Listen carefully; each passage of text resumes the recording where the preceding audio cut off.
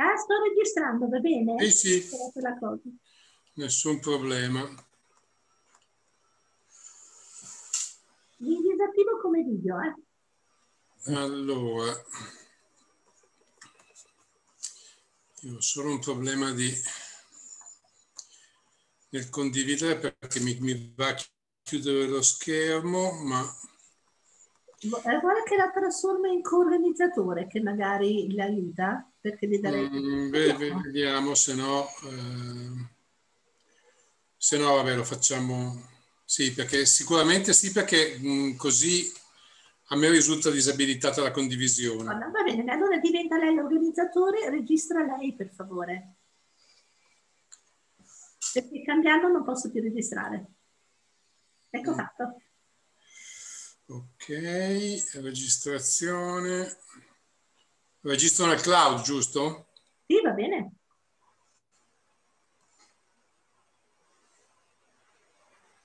Acconsento. Ok. Allora, andiamo qua.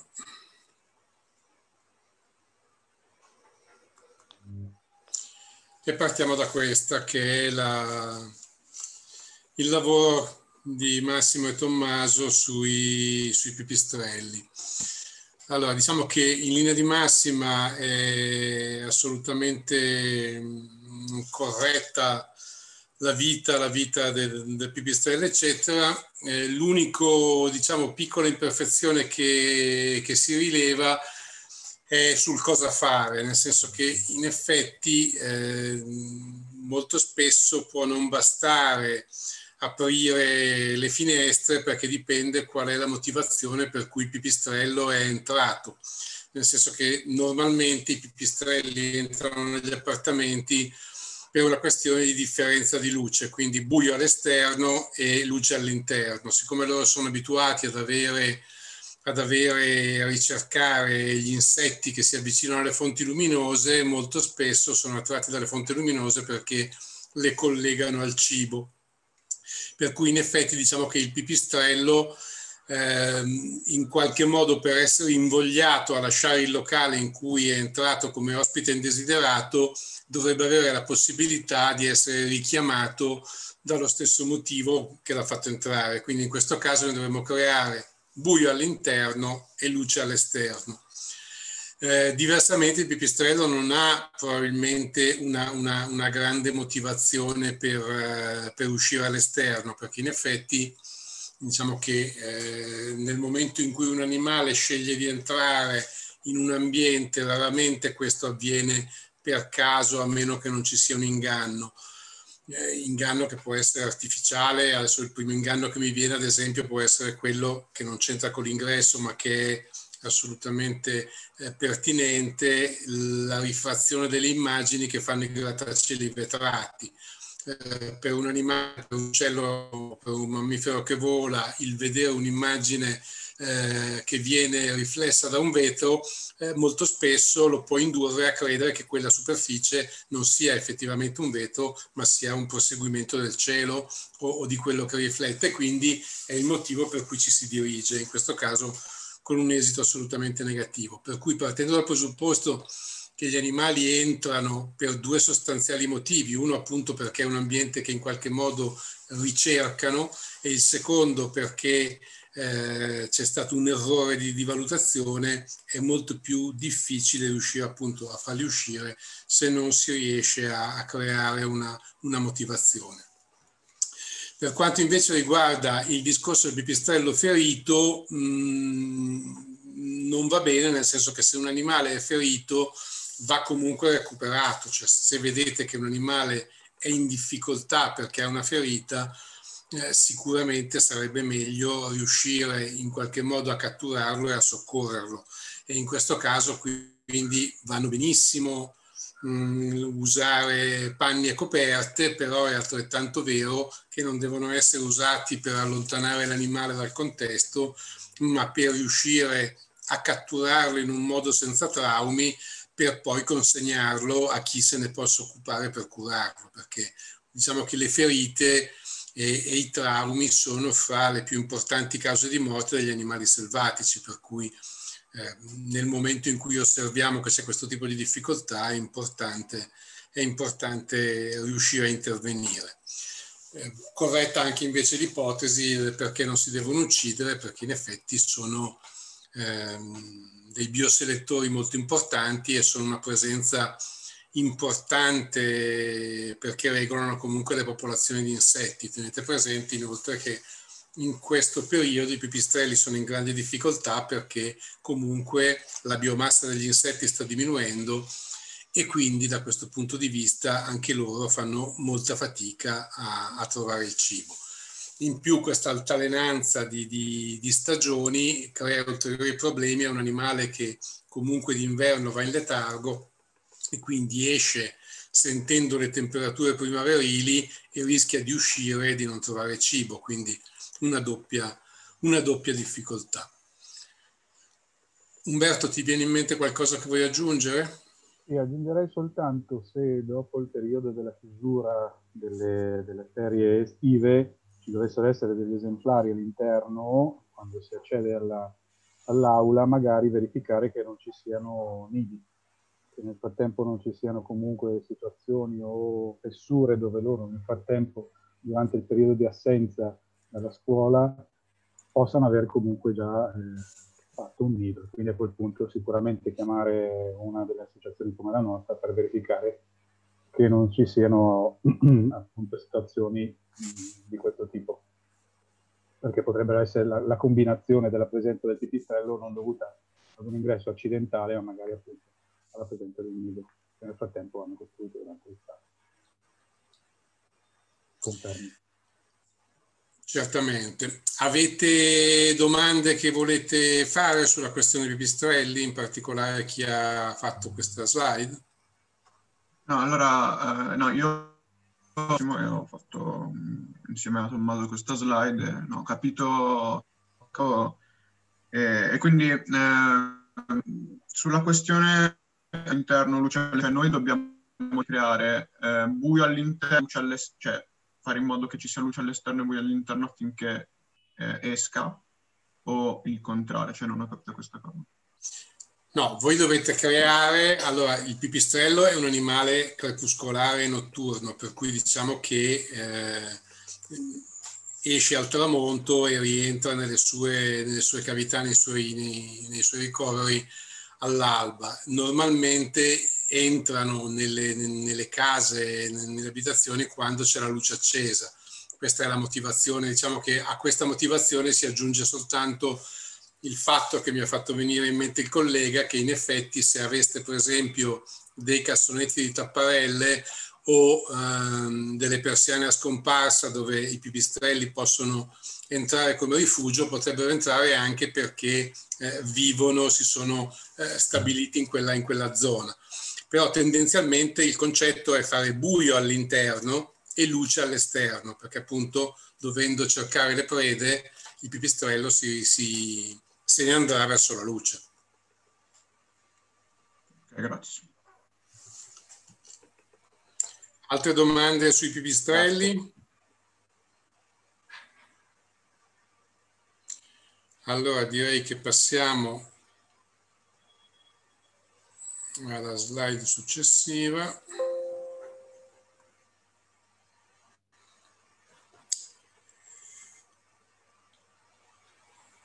Aspettate perché...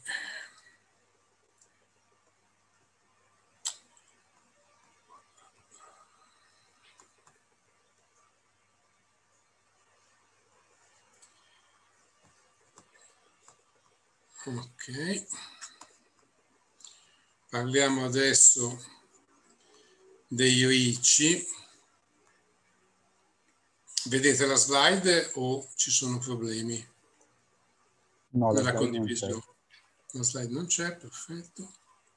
Abbiate pazienza, ma...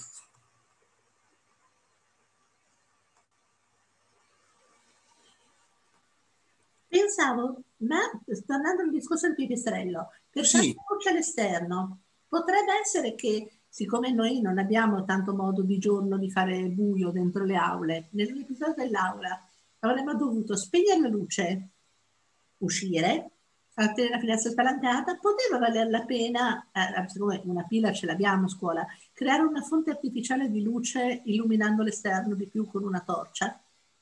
Allora, questo è un discorso possibile, però il discorso possibile è che il fascio di luce non deve partire dall'interno, ma deve partire dall'esterno, per cui diciamo che qualcuno dovrebbe andare fuori, nel senso i pipistrelli non riescono a vedere eh, questa cosa come se fosse una via luminosa e un'indicazione di, di salvezza e quindi da questo punto di vista eh, non funziona insomma come, come discorso.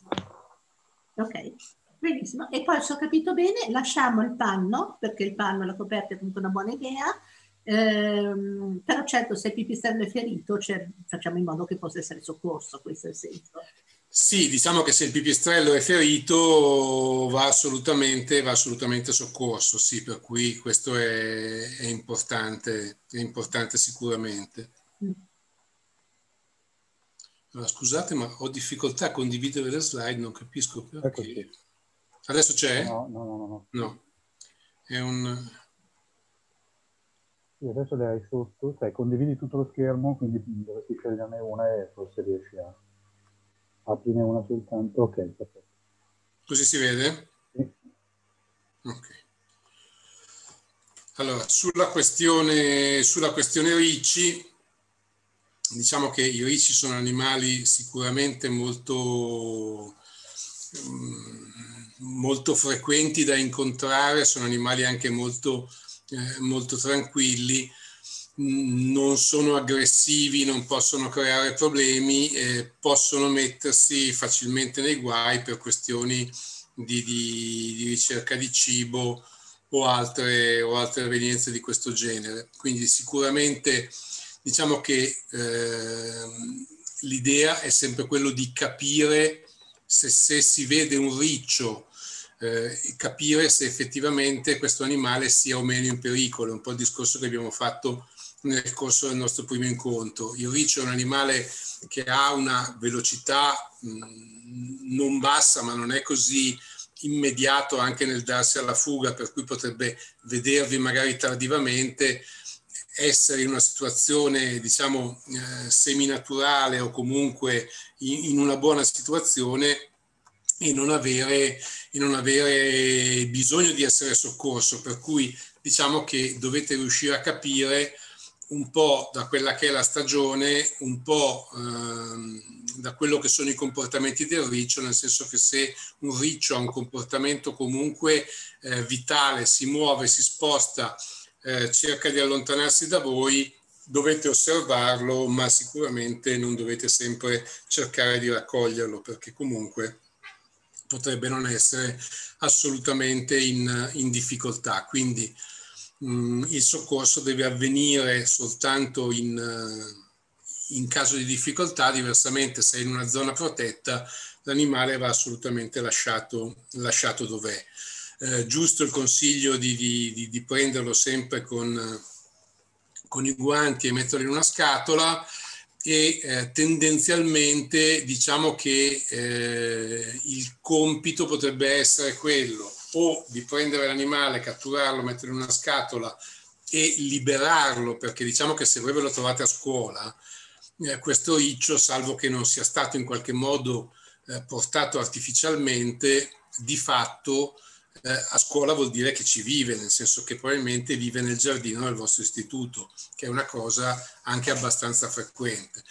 Quindi da questo punto di vista la soluzione potrebbe essere quella di prendere il riccio che è entrato all'interno dell'istituto e portarlo all'esterno in una zona più tranquilla possibile, poi sarà lui a, a scegliere dove, e come dirigersi, perché appunto tendenzialmente diciamo che mh, se è lì un motivo, un motivo ce l'ha.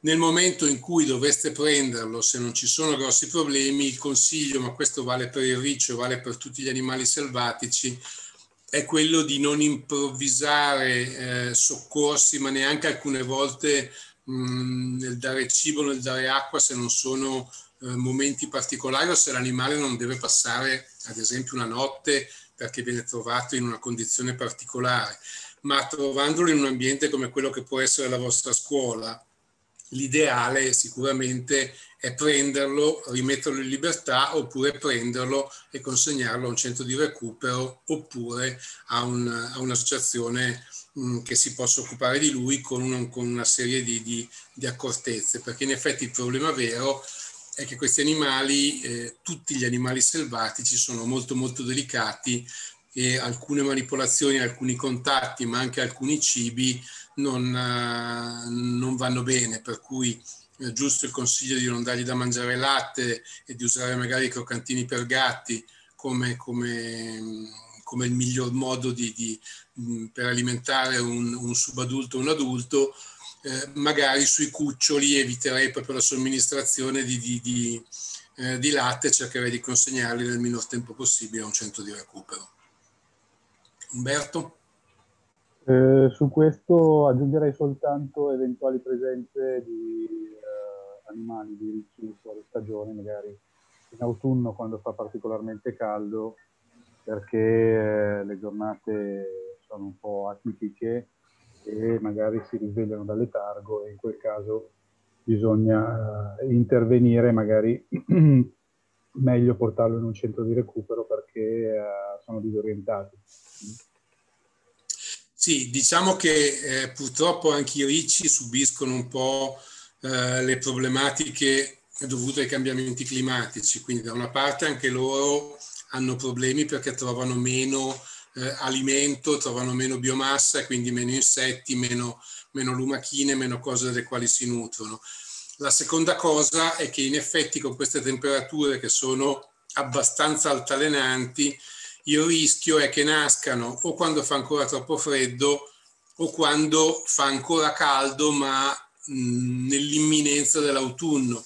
E quindi non riescano a crescere eh, in modo sufficiente per poter poi eh, superare il letargo che comunque per un animale, per un mammifero è una cosa eh, difficoltosa perché si tratta ovviamente di mettersi in uno stato diciamo di torpore, di semi-ibernazione che dura del tempo ma che non è che proprio porti un consumo assolutamente azzerato delle risorse, perché in effetti eh, anche la riduzione del battito cardiaco, delle attività eh, dell'animale, comunque il mantenere il calore e il mantenere al minimo le funzioni vitali crea dei consumi. Quindi se eh, questi consumi energetici non sono eh, supportati da una, da una massa eh, nutritiva di, di, grasso e di altre sostanze che possano fargli superare il letargo, il rischio è che si ritrovino poi all'inizio dell'autunno troppo piccoli per poter fare questa operazione e quindi possono andare incontro a morte. Quindi, come diceva giustamente Umberto, se trovate questi animali sul finire eh, di settembre verso metà ottobre e vedete che sono molto piccoli, eh, sicuramente può essere una buona cosa, molto piccoli e poco reattivi, può essere una buona cosa eh, prenderli e affidarli a un centro di recupero o un'associazione. Avete domande su questo?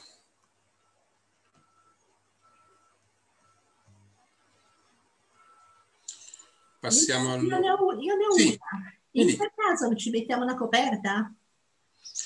Allora, il modo per prenderli può essere o dei guanti da lavoro, dei guanti da giardinaggio o una coperta. In, diciamo che tendenzialmente i ricci sono animali molto tranquilli, quindi è, è, è, difficile che mordano, ma hanno questo cuscino spinoso che, che qualche problema lo può, lo può creare. Quindi per non rischiare problematiche, sicuramente la cosa migliore è avere le mani protette o utilizzare una coperta. Tra l'altro la coperta, se maneggiata correttamente, è sempre un ottimo strumento per la, la cattura diciamo, de, degli animali in difficoltà.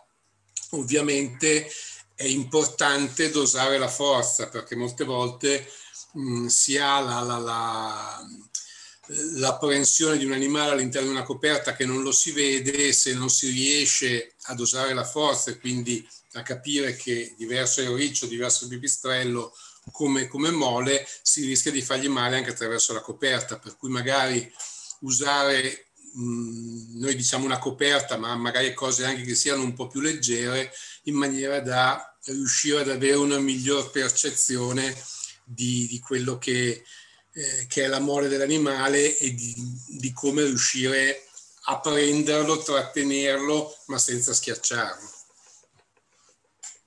Sì, io questo lo metterei in, in po' nelle varie slide perché comunque al Vittorini noi abbiamo dei teli e, abbiamo, e quindi può essere una soluzione per, per, anche proprio per allontanare l'animale senza fargli del male. Pensavo alla coperta perché pensavo quando lei diceva eh, sul finire dell'autunno magari patiscono il freddo, mi chiedevo se la scatola era sufficiente, se una scatola portata dentro, perché tra quando lo prendiamo e quando lo portiamo al centro di recupero passa un po' di tempo quindi se era il caso di creare anche un isolamento termico, questo era il senso mio. Allora, diciamo che eh, la coperta sì, fa isolamento, però il problema, il vero problema è che eh, se un animale è ipotermico, se non riesce a riscaldarsi perché è in difficoltà, il nostro riscaldamento corporeo è la, mh, mm, ehm, la più grande fonte di dispendio energetico, diciamo, e quindi eh, la coperta di per sé non aiuta l'animale a, a scaldarsi, aiuta l'animale magari a dissipare meno calore nell'ambiente circostante. Per cui se il tempo è davvero freddo, una buona uh, accortezza potrebbe essere quella di mettere in una scatola una coperta e sotto la coperta uh, mettere magari una bottiglietta d'acqua con dell'acqua tiepida, non caldissima, che possa fare un po' da bull dell'acqua calda e possa trasmettere calore. Quindi eh, se vedete che un animale è ipotermico e che si muove con difficoltà, sicuramente questo di usare una bottiglietta d'acqua come se fosse una borsa dell'acqua calda può essere un aiuto. Eh, non mettetelo su fonti di calore perché è difficile tarare esattamente la quantità di calore necessaria, per cui il rischio è che un eccesso di calore, anziché creare un beneficio, possa fare un danno. Umberto? L'unica cosa appunto sul cibo, nel caso di ritrovamento in tarda serata in cui non si riesce comunque a, a portarlo presso un centro, come dicevamo l'altra volta, sicuramente consultare qualche associazione come la nostra per avere indicazioni su come gestire la, la notte. Ecco loro mangiano spesso come quando sono cuccioli, come tutti i cuccioli anche di gatto, e quindi gli darebbero delle indicazioni eh, fondamentali proprio per la, il, il superamento della notte. Sì, è importante come sempre non improvvisarsi mai, ma fare cose delle quali eh, si ha effettivamente una certezza, perché poi questi animali sono talmente piccoli e delicati che alcune volte l'aiuto si trasforma facilmente in danno, insomma questa cosa non, non va ovviamente bene. Se non ci sono altre domande sul riccio, vediamo se riusciamo a passare allo scoiattolo. Mi date conferma che si vede? Ok. Allora, lo scoiattolo è un animale un pochino più, eh, più complicato per tutta una serie di, di motivazioni, perché gli scoiattoli mordono, eh, ovviamente non mordono per, per, per, aggressività, ma mordono per paura e, e quindi questo è un problema. E eh, sono animali comunque tendenzialmente molto veloci questo cosa vuol dire? Che se uno scoiattolo entra all'interno di un, di un edificio, di una stanza, eh, dovete stare molto attenti a calibrare eh, anche lì la forza, nel senso che ad esempio se usate eh, strumenti impropri come potrebbe, come, come so, una scopa o qualche cosa che non sia morbido, il rischio è che nella velocità dello scoiattolo e nella vostra le due velocità si sommino e quello che poteva essere un gesto delicato diventa un gesto pericoloso. Quindi usare sempre eh, da questo punto di vista eh, le coperte, i teli, qualche cosa che in qualche modo mh, tenda a far uh, dirigere l'animale da par- dalla parte desiderata, insomma che non è esattamente magari quella in cui, in cui lui vorrebbe andare. Gli scoiattoli non hanno, non hanno artigli, di fatto hanno delle unghie, ma non sono degli artigli, quindi non eh, possono fare dei micrograffi. L'unica vera eh, pericolosità, e questo vale un po' per tutti gli animali, è mettersi al riparo dai morsi. Questo per una serie di buoni motivi, perché i denti sono comunque un, uh, un veicolo di, di, batteri e quindi riuscire a non farsi mordere è sicuramente una cosa una cosa in, importante. Ovviamente, eh, torniamo al discorso mh, mm, fatto prima con il pipistrello, lo scoiattolo probabilmente o è entrato per curiosità o è entrato alla ricerca di cibo o magari qualcuno sbagliando gli aveva in passato offerto cibo e gli animali ricordano eh, questa cosa, voi dovete ricordarvi sempre, mi sembra che l'abbiamo già affrontato eh, nello scorso incontro, non bisogna mai alimentare gli animali, non bisogna mai dargli eh, cibo perché poi si crea un'abituazione, un'abitudine ad andare e a richiedere eh, cibo, per cui le distanze con l'uomo si abbreviano sempre di più e questa cosa non è né desiderabile né carina perché un selvatico eh, vivo per essere vivo deve avere paura dell'uomo. Nel momento in cui voi gli create uno stato di confidenza, lo esponete comunque a, a dei pericoli. Ovviamente, come per, come per il riccio, se lo scoiattolo è entrato è perché abita nelle vicinanze, quindi da questo punto di vista la cosa più intelligente è quella di, metterla, di metterlo all'esterno e di eh, riuscire così a, a rimetterlo nel suo ambiente naturale senza creargli pericoli. Come si diceva, lo scoiattolo, a differenza del riccio, è molto molto veloce e, e quindi bisogna avere eh, mille attenzioni perché non si faccia male, perché poi alla fine è molto veloce, molto eh, nevrile come animale, ma parliamo sempre di un esserino che pesa poche decine di grammi, insomma, per cui è ovviamente delicato. Ci sono domande su questo?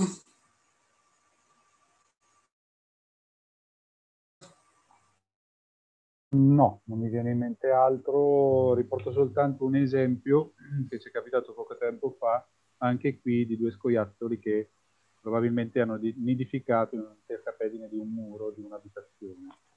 Quindi anche in questo caso, eh, prima di fare qualsiasi intervento, consultare l'EMPA o altre associazioni che si occupano appunto di questo di queste, di queste problematiche perché in quel caso abbiamo appunto dovuto chiamare i vigili del fuoco, verificare che non ci fossero ancora dei piccoli prima di fare intervenire poi la manutenzione per eh, evitare che si potesse ripetere questo episodio perché come diceva giustamente prima Ermanno la vicinanza poi con gli umani diventa a volte anche a eh, farli avvicinare troppo e imprintare perché magari si abituano ad avere cibo per, per curiosità e per simpatia. Ecco. Io volevo aggiungere che proprio per evitare che questo rischio diventi una costante, visto che ci è già capitato, vorrei evitare di avere tutte le stagioni lo scoiattolo dentro le aule, che è un animaletto carinissimo, però forse dentro le aule è meglio di no, e ho fatto potare gli alberi in modo tale che i rami non entrassero direttamente in contatto con le finestre, perché era esattamente quello il veicolo che loro usavano e, e come potevano pensare che non fosse una strada privilegiata avere dei rami. Un'ottima idea, devo dire. Assolutamente. Ecco, devo dire che bisogna continuare a stare appresso perché anche gli alberi crescono. La manutenzione del verde non è sempre eccezionale, anche da parte della città metropolitana. Adesso abbiamo raggiunto un accordo migliore, per cui comunque quella è una parte del problema.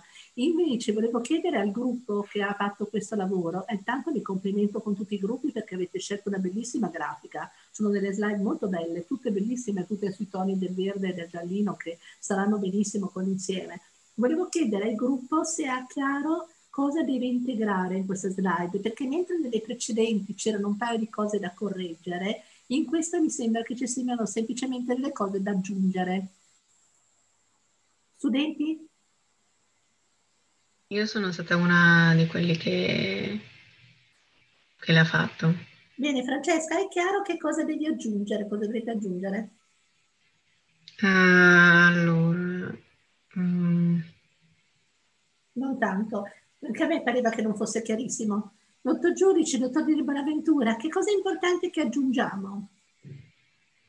Allora, sicuramente è importante togliere la definizione artigli perché eh, appunto si tratta di unghie e non di artigli quello, e quello è, è, importante. Ma per il resto direi che da aggiungere non c'è tantissimo, nel senso che comunque diciamo che forse dovete aggiungere eh, soltanto la parte di utilizzare per spostare eh, lo scoiattolo verso la destinazione desiderata mh, mm, strumenti tipo appunto coperte, teli, cose morbide che non possano causargli danno. Questo è, è un po' il, il, il consiglio di, di, di modifica. E ovviamente quello che va aggiunto un po' dappertutto, ma che dovete considerarlo più come un buon consiglio, insomma, cioè anche il dire lo mettiamo nella scatola eh, vuol dire farlo con eh, con buona grazia, molta attenzione perché diversamente anche questo tipo di cattura, se l'animale è in qualche modo vigile, eh, può creargli problemi, nel senso che magari un movimento sbagliato riporta a dargli la scatola addosso e questo potrebbe creare un problema. Un consiglio che vale per tutti, non vi fidate del fatto che un animale sia eh, magari in condizioni tali da eh, sembrare morente, quindi poco reattivo. La paura e eh, il momento di, di, di, stress, come avviene per noi, eh, portano gli animali ad avere reazioni eh, impreviste, per cui alcune volte un animale che può sembrare moribondo, nel momento in cui voi andate a prenderlo per per prenderlo e metterlo in una scatola potrebbe avere una reazione. Quindi considerate sempre come se l'animale fosse comunque in grado di avere una reazione importante. Non date mai per certo il fatto che siccome è lì tranquillo sia per forza eh, maneggevolissimo. Allora potremmo dire... In generale, sì? in generale muoversi garantendo la sicurezza per lui, ma eh, garantendo eh, muoversi in sicurezza anche per chi cerca di intervenire sull'animale. Quindi, quindi sempre meglio avere dei guanti, magari eh, un po' lunghi, e appunto questi teli che evitino morsi o graffi. Va bene, quindi riepilogando, togliamo gli artigli che non ci, eh, oppure li sostituiamo in unghie, ma in realtà credo che il vero problema siano i morsi eh, aggiungiamo al discorso della coperta, mettiamo di porre con garbo l'animale, con, con precauzione l'animale nella scatola. Basta. E agire in sicurezza con dispositivi. Come? Agire in sicurezza con dispositivi, se possibile. Va bene. Per il resto va bene, d'accordo. Va bene, Francesca? Passiamo alla slide. Sì, va bene, grazie.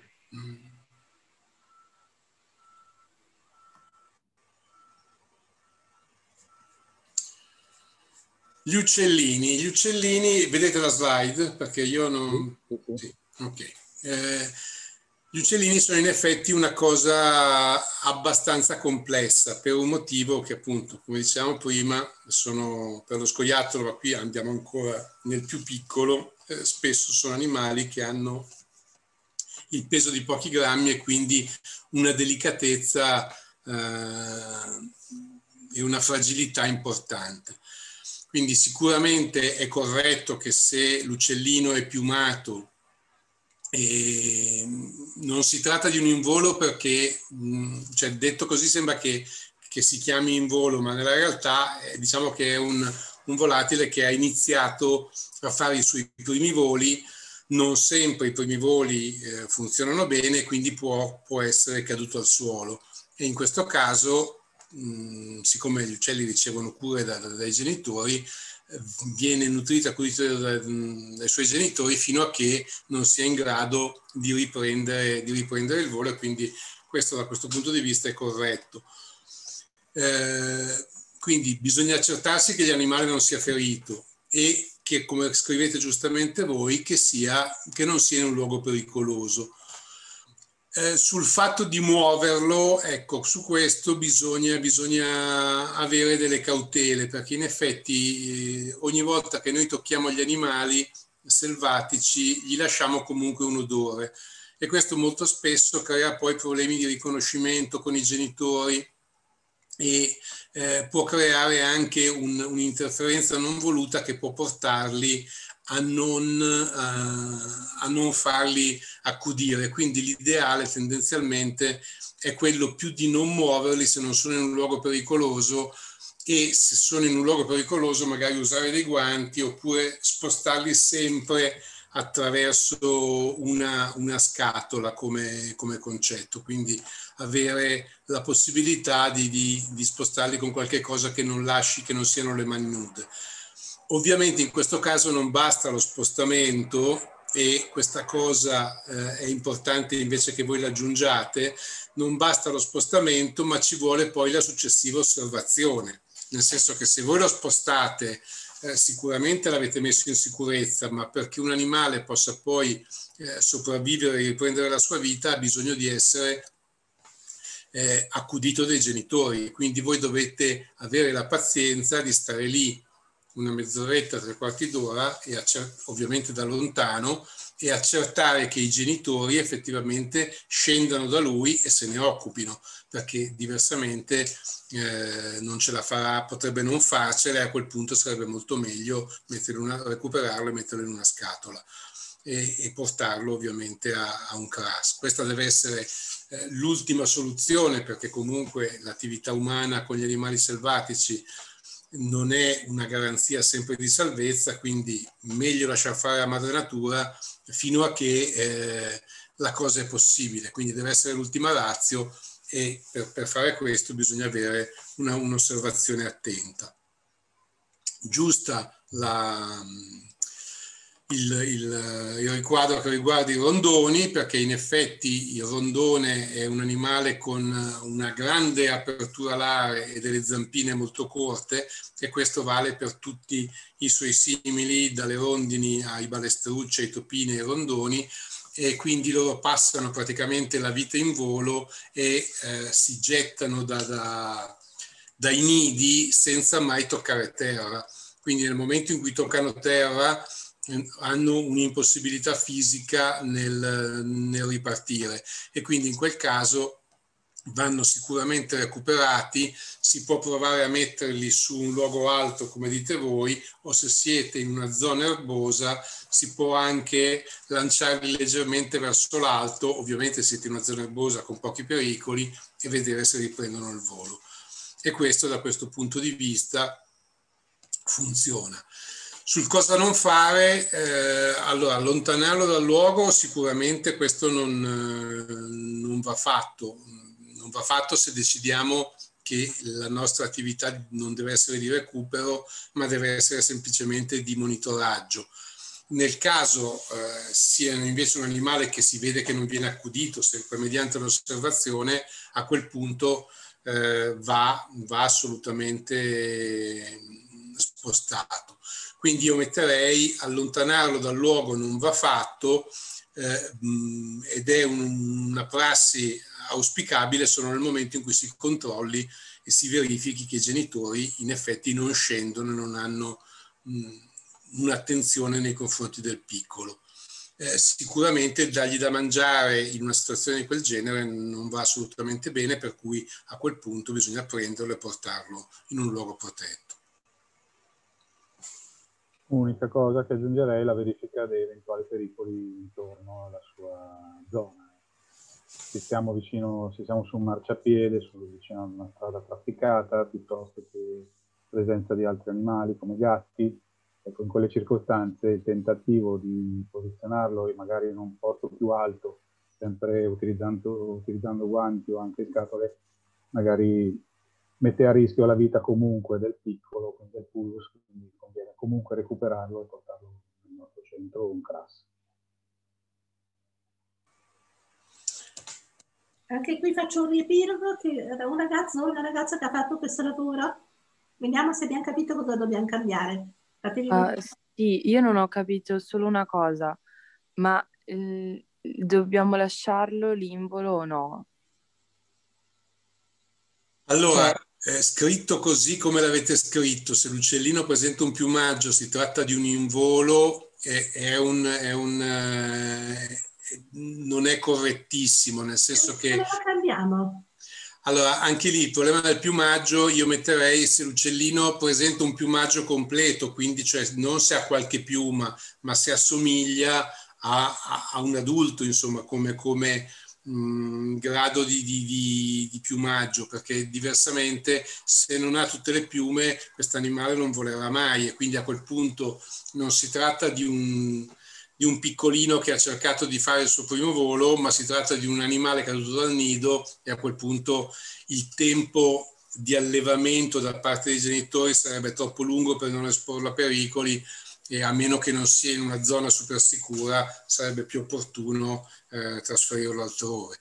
Quindi lo cambierei mettendo che se l'uccellino ha un piumaggio completo, si tratta di un tentativo eh, mal riuscito dei primi voli, di fare i primi voli e eh, che nel caso sia, sia caduto al suolo perché appunto non è riuscito a compiere interamente il, il suo primo volo, eh, verrà accudito dai genitori sempre con l'accortezza appunto di vedere che questo accudimento esiste e ci sia. Ma allora la parola in volo, che poi non si dice in volo ma in volo, che cosa significa veramente?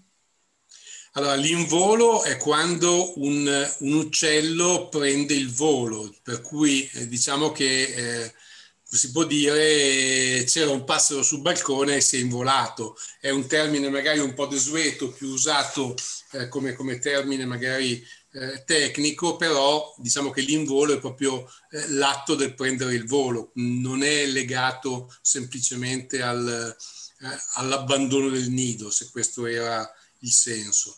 Okay. Diciamo che se sono abbastanza piumati ah, fanno un tentativo di primo in volo dal nido, ma che, riesce male sostanzialmente. Ecco. Okay. Quindi a quel punto mancano praticamente soltanto magari un paio di giorni perché il, il pullus venga comunque alimentato, continua, continuano ad alimentarlo i genitori e poi sarà pronto per involarsi. Però ecco, come dicevamo l'altra volta, cioè l'implume e, e, e, il piumato sono due, due, due esserini completamente diversi. Ecco.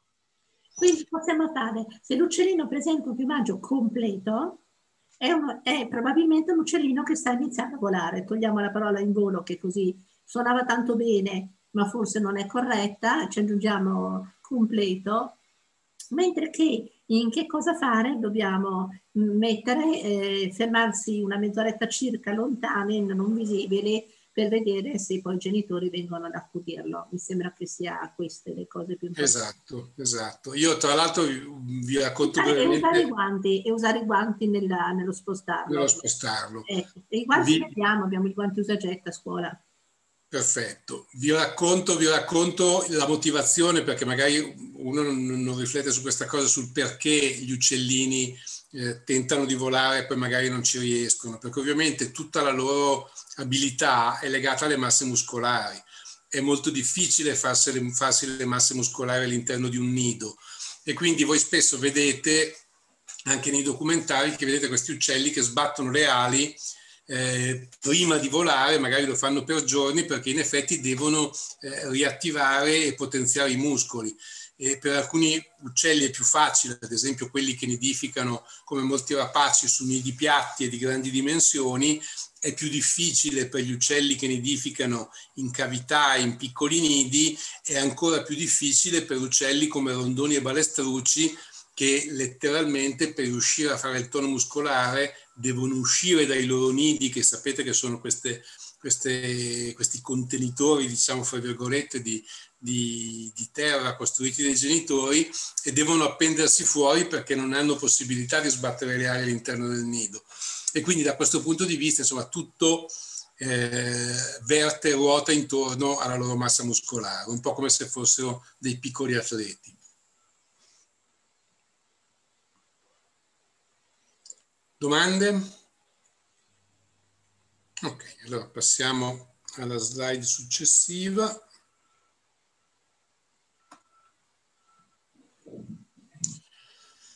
La volpe. Allora, diciamo che partiamo da, dal presupposto che una volpe è difficile che ve la troviate davanti, nel senso che se ve la trovate davanti, una volpe significa che è un animale che ha dei problemi, o è stato avvelenato, o è stato investito, o è ferito, perché la volpe è un animale di estrema intelligenza, eh, molto guardingo, molto attento, è difficile che venga eh, che si faccia trovare di sorpresa dagli uomini, anche perché ha un ottimo udito e quindi sente anche il nostro avvicinamento. Ovviamente l'unico comportamento che la può ancora una volta trarre in inganno, come sempre, è quello del dargli da mangiare. Quindi bisogna assolutamente evitare di dargli da mangiare, perché il, il cibo abbiamo visto che è il, il mezzo di, fra virgolette, mh, mm, è quello che crea un ponte fra uomini e, e animali e non va bene. Sicuramente bisogna stare a debita distanza e cercare di capire che cos'ha ed è un animale che non dovete maneggiare. Non dovete maneggiare per una serie di buoni motivi, perché comunque è un animale che può eh, mordere ovviamente con una dimensione mh, anche diversa da quella che, che, è un, che può essere uno scoiattolo e quindi ovviamente sono eh, animali che devono essere maneggiati soltanto da persone esperte che sanno come comportarsi, quindi il vostro compito eh, deve essere quello semplicemente di eh, valutare se esiste un problema, se l'animale magari non si allontana eh, spontaneamente o vedete che è in condizioni di sofferenza, a quel punto chiedete un intervento. Eh, dovete cambiare sicuramente i, gli obiettivi della segnalazione perché il Corpo Forestale dello Stato è stato sciolto anni fa e non c'è più. Adesso ci sono i carabinieri forestali che hanno inglobato il Corpo Forestale dello Stato e in provincia di Milano anche la Polizia Provinciale praticamente non fa più compiti mh, mm, o non fa quasi più compiti di, di, di, di questo genere. Esiste un nucleo faunistico regionale, eh, ma sicuramente la cosa più, più importante è segnalarlo al, al, Corpo Forestale dello Stato, al 1515 o eh, eventualmente anche alla Polizia Locale. Sicuramente un ottimo consiglio quello della prevenzione di di non lasciare rifiuti in giro perché i rifiuti sono quelli che attirano tutti gli animali, non solo le volpi. E lasciare le piccole volpi dove sono è un buon consiglio, diciamo che poco realizzabile, nel senso che le volpi normalmente eh, si riproducono in tane, quando escono sono già animali mh, che possono avere una vita autonoma e quindi difficilmente voi eh, troverete un, una volpe adulta con i cuccioli o cose di questo genere, per cui eh, sicuramente è un, è un tipo di, di, attenzione, quella di non toccare gli animali che va sempre bene, ma magari potreste anche eh, questa parte eliminarla. E nel caso in cui ci si trovi in campagna chiudere gli animali più piccoli nelle gabbie, diciamo che la protezione degli animali dai predatori, specie se sono animali domestici, è sicuramente una, una buona consuetudine anche perché eh, in campagna mh, mm, ci sono tanti animali che, eh, che, essendo appunto predatori potrebbero rappresentare un pericolo o per gli animali da compagnia eh, che abbiamo o per gli animali eh, d'allevamento. Quindi sicuramente eh, non lasciare animali incustoditi e soprattutto piccoli animali li mette al riparo perché poi ovviamente non ci sono solo volpi ma ci sono volpi, donnole, eh, faine, mm, anche lupi in alcune zone per cui ci sono una serie di buoni motivi per cui gli animali vanno protetti. Umberto?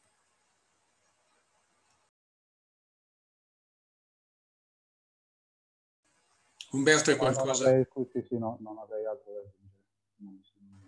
Avete domande su questa questione? Avete qualche cosa che volete aggiungere?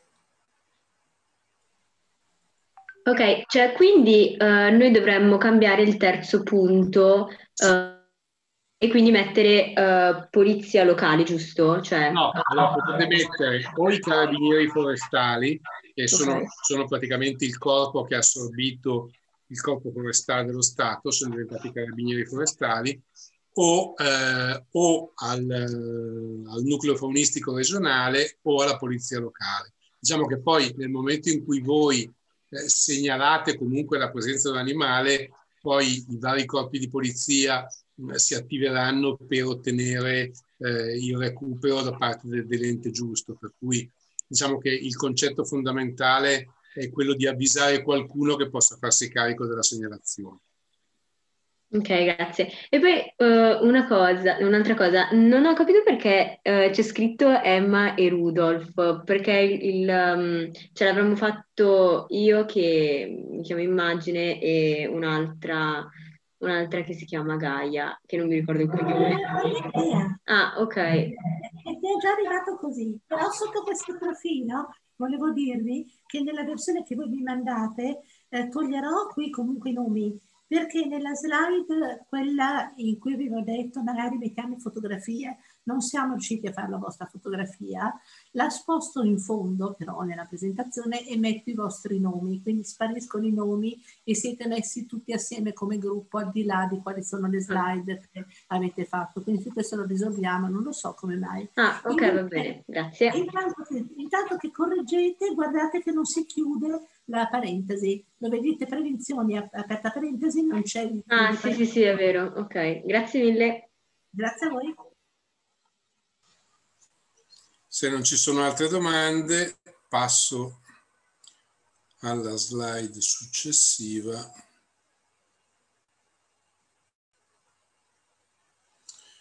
Cosa fare con gli uccelli feriti? E in effetti questo è un, un tema importante perché capita molto spesso che gli animali si, si, si feriscano e in particolare in particolari volatili. Diciamo che il, il cosa fare va quasi tutto bene, eh, l'unica cosa che non va bene è in caso di ferite aperte disinfettare con bialcolo o acqua ossigenata, no, eh, non fate nessuna pratica in qualche modo medica, a meno che non vi troviate in una situazione veramente eh, disperata, nel senso che se siete in mezzo eh, alla campagna vedete che ci sono una serie di problemi, che l'animale ha un, un principio di infezione, uno potrebbe anche pensare, però eh, l'uso di disinfettanti, l'uso di pomate, il fare terapie è veramente una cosa eh, sempre molto molto sconsigliata, per cui non disinfettate, recuperate l'animale e poi quando arriverà a destino eh, ci se ne occuperà, perché in effetti non è, non è una cosa così, così, semplice, non tutti i disinfettanti vanno bene, eh, possono creare dei problemi, per cui insomma, anche in questo caso io rischio di fare più danno che vantaggio. Eh, come alimento somministrare carne macinata dipende, nel senso che non tutti gli animali eh, mangerebbero la stessa cosa e quindi anche su questo il concetto è che se una persona non ha delle esperienze specifiche, il consiglio è sempre quello di soccorrere e portare, perché se no si rischia poi di creare con alimentazioni sbagliate una serie di problemi. E in più calcolate che più gli animali sono di piccola dimensione, e più è difficile imboccarli, dargli da mangiare in modo artificiale, eccetera, per cui si rischia di fare più danno che non vantaggio.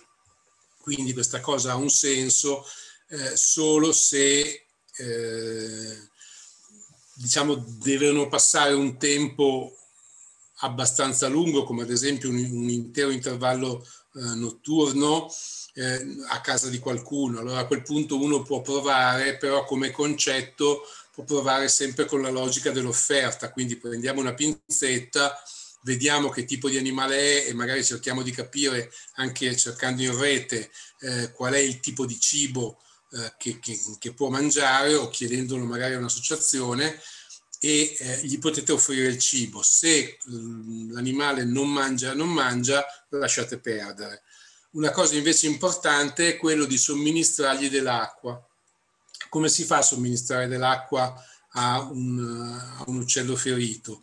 Eh, si prende una siringa senza ago, una piccola siringa, se l'avete da insulina, ma va bene anche un'altra piccola siringa, e eh, la, la, si riempie con poca acqua, si fa uscire una, una piccola goccia e si pone questa goccia col, col bordo della siringa eh, sull'angolo eh, laterale della bocca del, del, becco dell'uccello, in maniera che a quel punto, nel momento in cui voi l'avvicinate lì, per, diciamo, per una sorta di osmosi l'acqua un po' entrerà in bocca e l'animale comunque dovrebbe, dovrebbe riuscire a prenderla. E questo è il vantaggio di, avere, di potergli dare dell'acqua, che è una componente importante, più importante del cibo, eh, senza farlo in un modo traumatico e senza rischiare di farglielo andare, di, di farglielo andare di traverso, che potrebbe essere un, un problemino non, non, da poco. Poi non prendere mai volati da mani nude, non solo per evitare di essere feriti, ma anche perché in effetti comunque abbiamo detto è meglio sempre non trasferire odori, quindi dipende poi ovviamente da, dal tipo di, di, di di animale, perché se è un rapace eh, va preso ovviamente con eh, determinate cautele, se è un passerotto le cautele sono più che altro non tanto di protezione per noi, ma di protezione per lui. Non posizionare la scatola su stufe, come abbiamo detto prima, e questo sicuramente va, va benissimo. Il lasciare gli animali tutti in una stanza tranquilla senza andare a continuamente a vedere e evitare qualsiasi pratica che appunto sia eh, una cura veterinaria improvvisata. Non somministrare mai molliche di pane, latte o derivati dal latte e questa è un'ottima, è un'ottima precauzione. Comunque non date mai eh, cibo appunto che l'animale non prende direttamente da solo perché il rischio poi è di fargli fare una manualità, di dover fare voi una manualità per la quale non avete esperienza e che può provocare un danno. Umberto? Mi sembra che sia stato detto tutto. Sulla pratica appunto dell'acqua, come dicevamo l'altra volta, potrebbero appunto avere dei problemi di ingerire acqua dalle vie respiratorie per cui causare dei danni. Quindi sicuramente quella è la cosa migliore da fare. Altro al momento non che ha fatto questa bellissima slide perché come tutte ma sono belle, questa è particolarmente bella anche come grafica, quindi ripiegando si toglie la medicazione, eh, si aggiunge come si dosa l'acqua con la siringa eh, senza ago in punta al lato del becco e non ho ben capito come va corretta la parte della carne macinata, se va lasciata sì no, e poi vorrei vedere chi sono gli autori di questo video che magari, di questa diapositiva che magari hanno delle altre domande. Chi sono? Chi l'ha fatto? Io e, e Claudia Marzullo. Bene. Anna, è chiaro come va cambiato? Hai delle domande? Uh, no, no, è abbastanza chiaro, è stato abbastanza chiaro, sì, grazie. Mm. Bello, ottimo lavoro, come tutti quanti, eh? Bene. Allora, per quanto riguarda l'alimento, l'alimento bisogna eh, capire il tipo di, di, di, di, animale, nel senso che bisognerebbe offrirgli un cibo che sia compatibile con, con quello che normalmente mangia, per cui sicuramente per un rapace eh, va benissimo la carne macinata, eh, potrebbe andare bene anche per un insettivoro in, in dosi molto molto piccole, per un granivoro adulto come un piccione, un passero, eh, diventerebbe un problema perché in effetti è molto meglio dargli del cibo o dei semi e poi ci sono una serie di, di, di, di animali non, diciamo onnivori come i corvi dove si può dare frutta, carne macinata mh, mm, e altri tipi di cibo. Il problema è che è difficile riassumere in una slide come alimentare, perché in effetti dipende dalle specie, bisognerebbe suddividere le specie.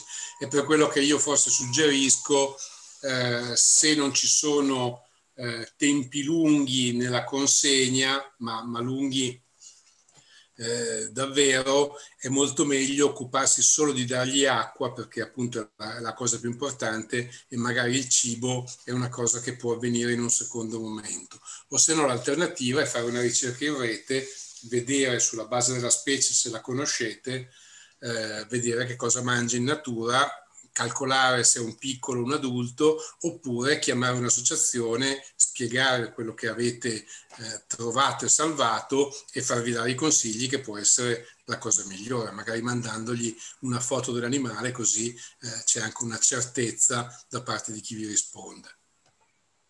Volevo anche dirvi che se per caso fosse un granivoro, attualmente è diventato molto più facile trovare i semi in giro perché siccome vi sono diverse persone che li aggiungono alle insalate, una volta li trovavi solo i consorzi, adesso se invece guardate nei banchi tipo nocciole tritate, noci tritate, eccetera, a volte trovate i semi di qualcosa e quindi se fosse appunto un animale che mangia i semi non dovete andare a venire a cercarli dirvi dove li trovate. In qualsiasi supermercato nel reparto alimentari li, li trovate.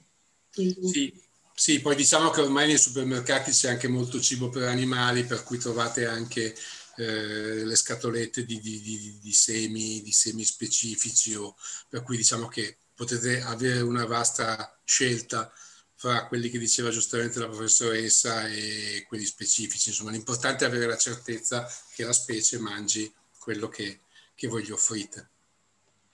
Bene. Se non ci sono domande, passo alla diapositiva successiva.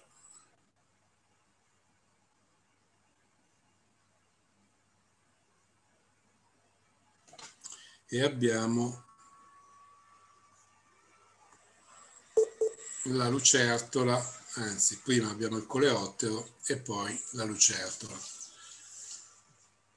Allora, sicuramente mi sembra una, un'ottima attenzione, un ottimo messaggio quello di eh, non uccidere, nel senso che non ha un senso mh, uccidere un animale quando lo si può eh, tranquillamente liberare. No? Per cui mh, va benissimo l'idea di, di, proteggersi le mani, che poi questo riguarda diciamo, soprattutto se fossero magari animali particolari come, come api, vespe, in situazioni di difficoltà, però eh, diciamo che per i coleotteri mm, è impossibile che facciano, che facciano, un danno.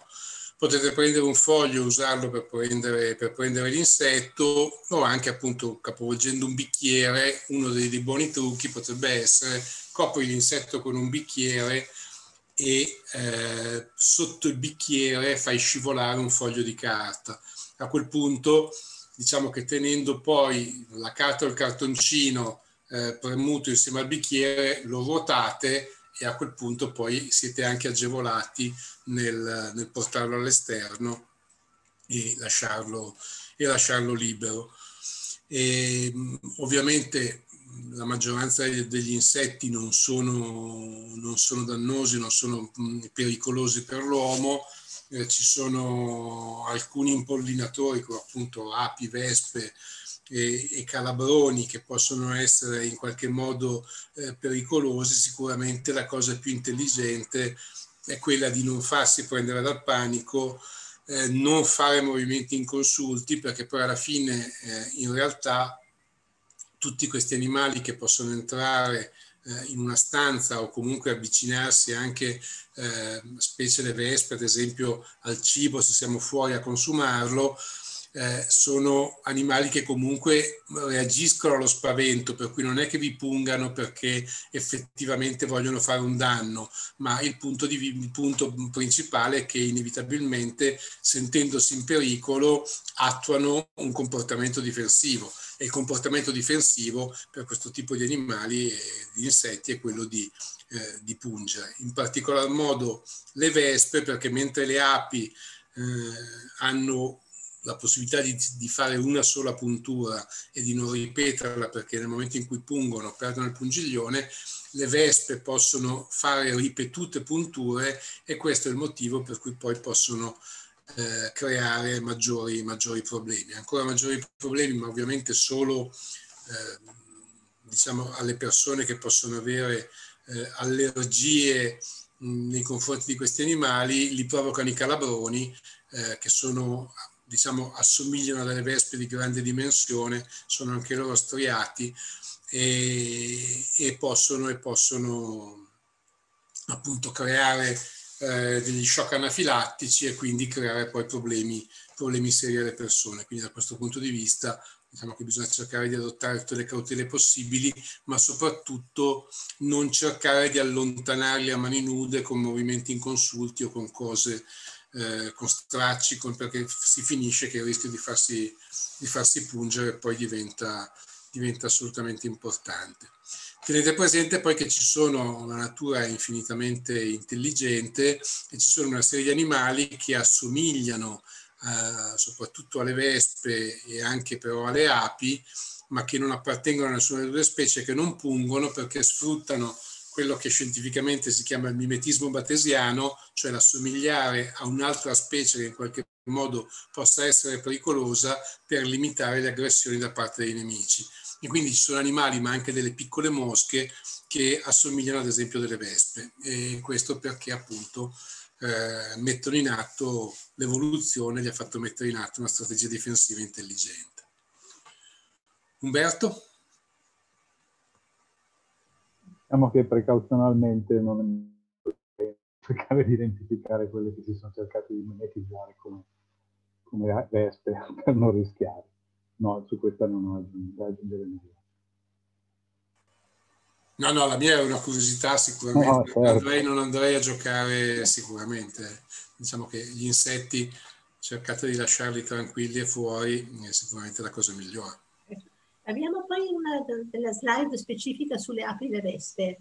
A me questa sembra fatta molto bene, questa dei coleotteri. E sì, sì, sì. questa è la stratagemma del, del bicchiere con capovolto e poi dopo il foglio di carta sotto perché mi sembra una un'idea intelligente per, per catturarle e mandarle fuori. Sì, un bicchiere o un vasetto. Io quello che vi consiglio è di non usare un bicchiere di carta o eh, ovviamente neanche di per un motivo molto semplice che se usate un vasetto di vetro o un bicchiere di vetro voi avete sempre la certezza di dove è l'animale eh, se lo mettete in un bicchiere dove non vedete l'interno rischiate di, di, di, non sapere esattamente dov'è. L'ideale sarebbe che nel momento in cui lo liberate l'animale sia sul fondo, per cui dovete aver, poterlo vedere sicuramente vi, vi agevola. Ed è anche un modo magari per dargli brevemente senza tenerlo imprigionato per lungo tempo, ma è anche un modo per dargli un'occhiata in sicurezza. Volevo dirvi anche che io l'ho visto fare con i ragni però vi confesso una cosa, voi cari amici degli animali, io ho un cattivissimo rapporto con i ragni, per cui sì, cerco di mandarli fuori con i fogli di carta, ma da lì a prenderli sotto un bicchiere per guardarli bene, magari anche no. Eh. Prima lasciano casa mia, prima sono contenta.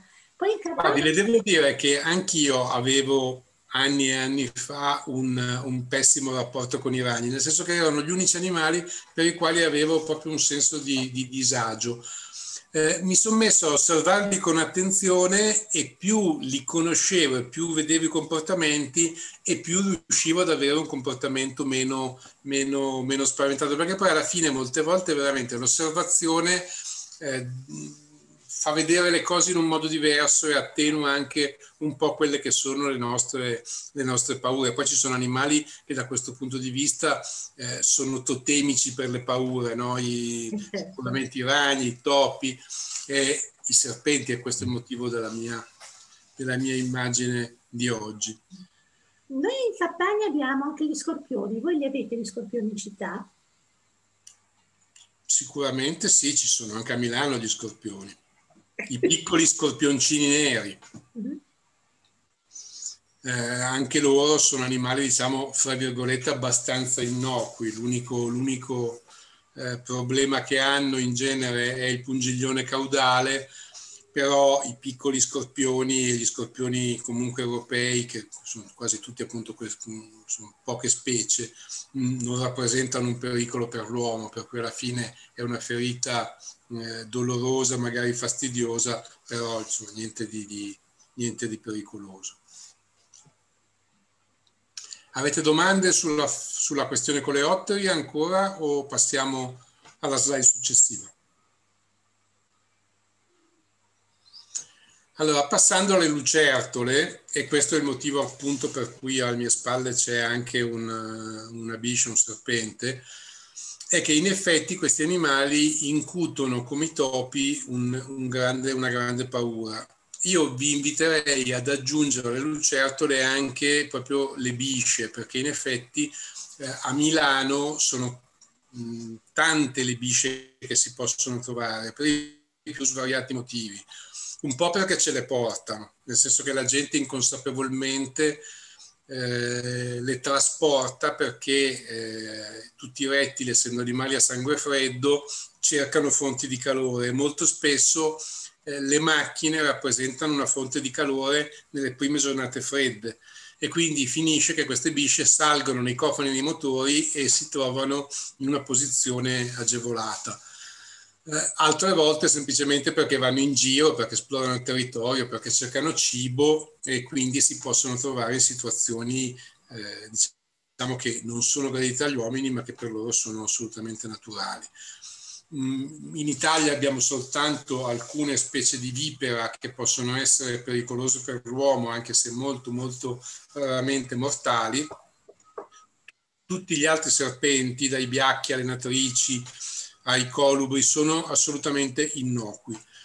Quindi non c'è una ragione di averne paura, non c'è una ragione di, di, di, di ucciderli, eh, possono dare eh, dei piccoli morsi, ma sono morsi appunto eh, innocui e non, non, fanno, non, fanno, un grande danno. Eh, sono animali che incutono paura, ad esempio il biacco, un animale che incute paura, stiamo parlando di una biscia che raggiunge il metro e venti, il metro e trenta eh, che però è molto reattiva, è molto, è molto aggressiva, si, si, mette in alto con la testina come un cobra, eh, simula degli attacchi per spaventare e quindi questo può creare poi una, una, una sorta di disagio, un'idea di pericolo. Nella realtà potete eh, comportarvi esattamente come fareste con, con le, le lucertole, dove è possibile trovare un contenitore che può essere in questo caso magari ovviamente non un bicchiere perché non ci starebbe eh, un biacco dentro un bicchiere, ma un secchio, eh, una setta, qualche cosa con cui eh, tappare il secchio e portarlo poi da, da, un'altra parte. Quindi da questo punto di vista va bene per le lucertole, va bene per, eh, per i biacchi, va bene per le natrici e per tutto quello che è il mondo un po' del, del rettile. Tenete presente che può capitare di trovare questi animali in una condizione di scarsissima reattività perché come vi dicevo prima sono animali a sangue freddo. Quindi d'inverno vanno non in letargo perché non sono mammiferi, ma in ibernazione e riducono le loro funzioni vitali al minimo e però per il loro momento di maggior reattività e di maggior vitalità è quello in cui fa caldo. È la stagione in cui fa caldo e il momento in cui loro possono eh, ricevere massimo, la massima irradiazione solare. Questo è il motivo per cui spesso può capitare, ad esempio, di trovare eh, bisce, lucertole e altri, altri rettili eh, sulle strade, sui, mh, eh, sui bordi dei muretti, perché in effetti esposti al sole accumulano calore e gli animali vanno poi per trovare, per trovare calore. Quindi anche l'asfalto, ad esempio, quando il sole scende, l'asfalto prima di raffreddarsi eh, ci mette tempo e quindi ancora per un periodo in cui magari il sole non è più forte e non è sufficiente come calore, l'asfalto dà una, una possibilità a questi animali di essere, di essere, mobili. Quindi possono essere appunto catturati con, con attenzione e liberati senza, senza problemi perché non sono pericolosi. Una cosa che vi posso dire, non vi fidate del fatto che i serpenti sembrano morti sembrino morti, perché in effetti i serpenti mettono in atto questa strategia difensiva che si chiama tanatosi, quella di assomigliare ad animali morti e per cui si mettono magari con la pancia all'aria e la bocca spalancata, è un comportamento che hanno eh, spesso le natrici dal collare, e si fingono morte. Quindi non fidatevi mai, siate sempre cauti e spostateli con, con le dovute attenzioni e usate magari eh, sempre dei, dei, dei, dei, guanti per proteggervi da eventuali piccoli morsi che seppur innocui non fanno mai piacere. Umberto? E su questo aggiungerei due cose, perché siamo passati anche ai serpenti. Forse è meglio sempre consultarci mandandoci una foto perché ci si può anche eh, trovare davanti ad un esotico. Eh, serpenti che vengono abbandonati e non sono, delle, no, non, non, non sono autoctoni, quindi non vanno comunque catturati e riliberati, ma andrebbero recuperati perché non possono sopravvivere in natura. E l'altra cosa, forse a questo punto direi di aggiungere anche trachemis, tartarughe, cosa dice Ermanno. Sono altri animali che comunque, soprattutto eh, fontane, fontanili, eh, capita spesso che po- poi possano essere trovate magari con ferite importanti quel caso, anche in quel caso intervenire, recuperarle e contattare un centro che possa accoglierli. Allora, diciamo, diciamo, che stavamo parlando di animali selvatici e io mi ero fermato a quello, però in effetti l'osservazione di Umberto è corretta. Moltissima gente in questi ultimi anni eh, ha deciso di tenere come animale da compagnia gli animali più strani, perché poi alla fine tutto quello che non è protetto in Italia è commerciabile, detenibile o quasi, e quindi finisce che le persone si tengono in casa il pitone, eh, il geco thailandese, animali di ogni tipo e genere.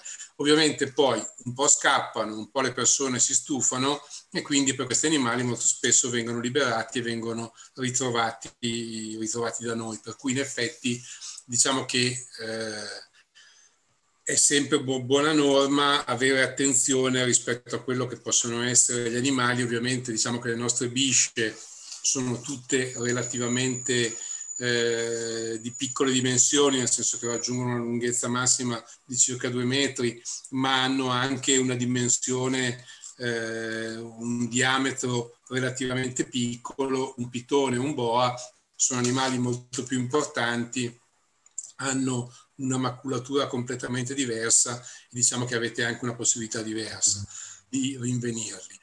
Eh, eh, lo stesso discorso vale per le trachemis. Le trachemis sono animali, trachemis è tutto quello che è il mondo un po' delle tartarughe palustri non nostre, sono animali che sono commercializzati per essere tenuti come animali da compagnia ed è una pessima idea e, e, spesso anche loro poi fanno una brutta fine perché le persone si stufano, questi animali vengono comprati piccoli e i negozianti spesso barano raccontando che resteranno piccoli per tutta la vita, poi diventano grandi come una padella fatta sul frigorifero e le persone prendono, li buttano in fontane o, o dove capita, infatti se voi vedete sicuramente avrete visto girando in ogni laghetto dal parco Sempione al parco di Treno è pieno di queste tartarughe che occhieggiano e, e, che molto spesso poi per varie ragioni finiscono a procurarsi traumi, a essere ferite e ovviamente vanno, eh, vanno soccorse e consegnate alle associazioni.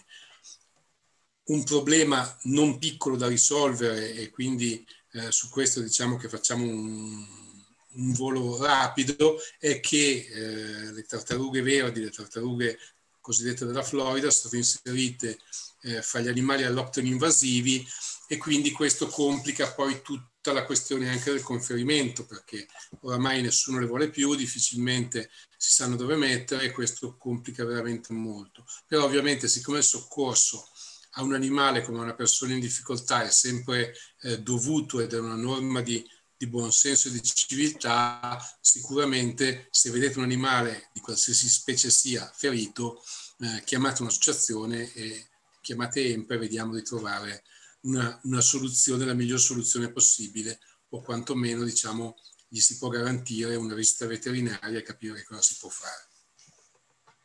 Mi si fa vedere il gruppo, qualcuno del gruppo?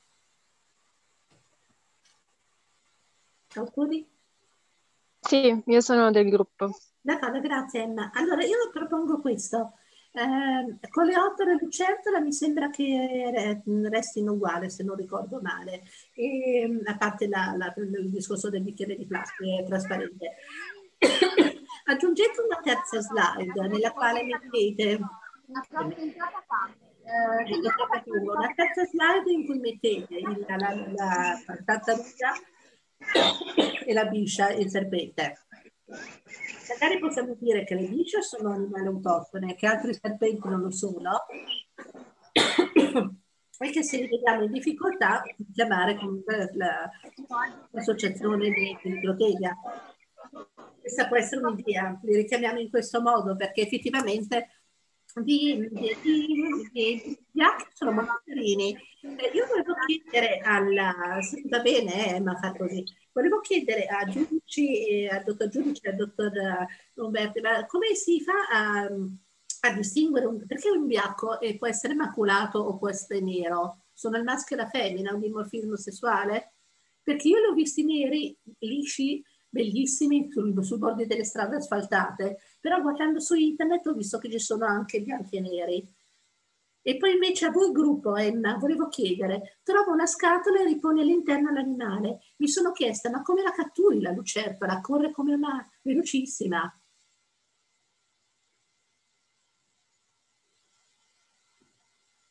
Mi sentite? Sì, no, eh, in realtà non saprei come rispondere. Perché il punto è che dovremmo trovare una risposta perché sennò ve la chiedono gli studenti. Bisognerebbe cercare di prenderla, però se la prendi in mano senza cercare di far male all'animale, credo. Allora, il, il, la, la cosa migliore che potete fare a seconda dipende un po' dalle posizioni. Può essere quella o di cercare di prendere una scatola, tipo una scatola da scarpe senza coperchio e calargliela dall'alto con un movimento attento perché se lo fate troppo velocemente e la lucertola esce rischiate di, di, di, di fargli del male. O se no l'alternativa potrebbe essere in genere loro per una questione di, difesa cercano comunque dei ripari. Allora potrebbe essere quello di prendere una scatola fargli un'apertura non tanto grande, che può essere, lo so, 2 cm, 3 cm per 3 cm, e eh, cercare di metterla a terra e spaventare l'animale perché vada verso la scatola. Tenderà a infilarsi perché comunque loro cercano luoghi riparati e luoghi bui perché sanno che in quel, in quel modo si nascondono dai predatori. Eh, non ci sono altri consigli perché in effetti diciamo che la cattura, la cattura manuale diventa problematica, eh, può causare una serie di stress. Tra l'altro non vi spaventate se le lucertole dovessero perdere la coda, perché è una strategia difensiva delle lucertole e, e quindi quando si sentono gravemente minacciate e in pericolo eh, si staccano la coda che poi ricresce e in questo modo la coda continua comunque a muoversi perché è innervata, distrae il predatore e gli consente di arrivare a, a mettersi in salvo quasi sempre. E quindi questo non vi spaventate, non è una cosa che avete causato direttamente, è un comportamento eh, derivato sicuramente dalla situazione di stress, ma non, è, non la dovete prendere come una, una colpa, insomma. Per quanto riguarda invece la colorazione degli animali, non tutti gli animali hanno le stesse livree, per cui non c'è una questione di morfismo sessuale nei biacchi, è una questione proprio di, di, di pigmentazione. Ci sono esemplari melanici eh, che sono completamente neri e altri che hanno eh, macchie di varie, di varie, colorazioni, che possono avere una prevalenza eh, di marrone, di verde, di giallo e è per quello che molte volte l'identificazione diventa, diventa complicata. Poi esistono una serie di, di, caratteristiche distintive che consentono a un esperto di, eh, di avvicinarsi e capire, e capire eh, la specie a cui appartengono. Per quanto riguarda ad esempio la divisione fra eh, velenosi e non velenosi, il consiglio che vi posso dare è che è veramente semplicissimo. Tutte le vipere hanno gli occhi eh, come i gatti e quindi hanno la pupilla verticale. Tutti gli animali, eh, le, i rettili italiani eh, non velenosi hanno la pupilla tonda. Per cui se vedete un animale con la pupilla tonda, posto che non sia un esotico e lì si apre un mondo eh, infinito, però diciamo che la detenzione di rettili velenosi in Italia è vietata, per cui è un'ipotesi veramente molto molto residuale. Questa divisione fra vipere e bisce è molto semplice, legata agli occhi. Un secondo punto eh, distintivo è la coda. La, la, le bisce hanno tutte una coda molto lunga che prosegue in modo armonico eh, lungo il corpo, alla fine del corpo, le vipere hanno un corpo abbastanza tozzo che finisce quasi improvvisamente con una coda molto corta che sembra un po' applicata. Per cui coda e pupilla insieme vi danno l'idea vipera non vipera.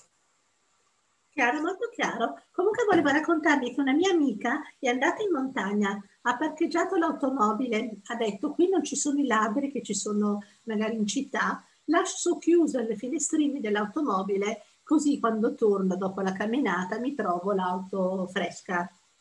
Poi torna a prendere la macchina e si trova a guidare sulla Torino-Milano e si trova che ha una vipera dentro l'automobile. Quindi sconsiglio molto vivamente di, eh, anche perché se l'è poi portata alla, fino a, a, casa, non sapeva come fare per toglierla, quindi sconsiglio di lasciare i finestrini abbassati quando siete in qualche posto campagnoso o in montagna che magari vi entra un animale. Diciamo che è un, una cosa che succede abbastanza spesso. Io nella mia vita e i miei colleghi abbiamo recuperato decine di serpenti, centinaia che sono entrati eh, negli abitacoli. Le do però una brutta notizia, nel senso che non entrano solo dai finestrini.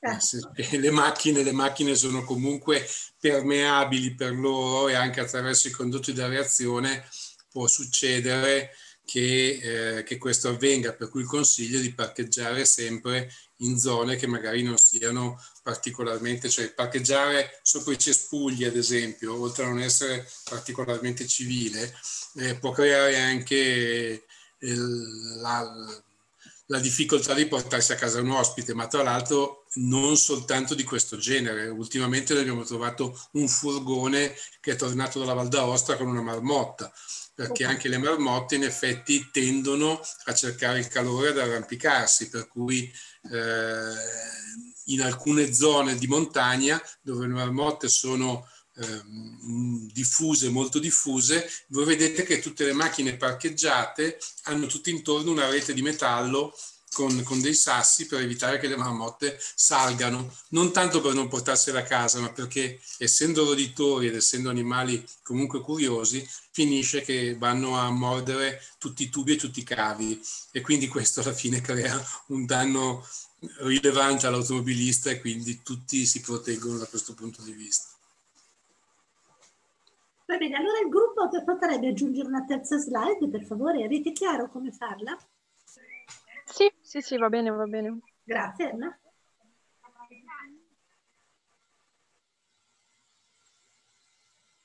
Avete altre domande? C'è qualcosa che volete chiedere?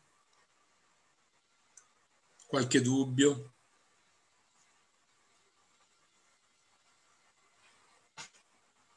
Siamo stati bravissimi, Umberto. Velocissimi. Eh. Non abbiamo lasciato dubbi. Ma me ne manca una o... Aspetta, Ci mancano le api, le api e le vespe sicuramente. Secondo me anche i rapaci. È vero, e anche i rapaci. Aspettate perché può darsi che allora io abbia... Dei rapaci non sono sicura, ma sicuramente delle vespe e delle api. Allora, questa... Sì, mancano anche i rapaci. Ok. Allora, scusate, colpa mia, eh, colpa mia, però devo Rapaci Ultimatum. Io ho aperto quelle che vediamo.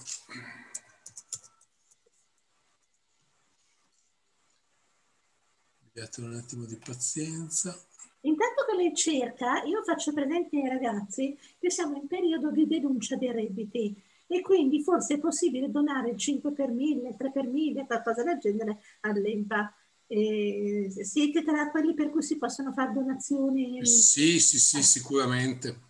Ecco, sicuramente usando il codice fiscale. Quindi se i vostri genitori non sanno come, come dare, per, la, per, per, queste voci qua che sono previste delle tasse, il 5% per 3 per 1000 di quanti diavolo è, sapete che potete anche dare dei consigli. Scusate un attimo che... Te le mando, hermano. Eh? Te le mando. Te l'ho già mandate. Ah, ok.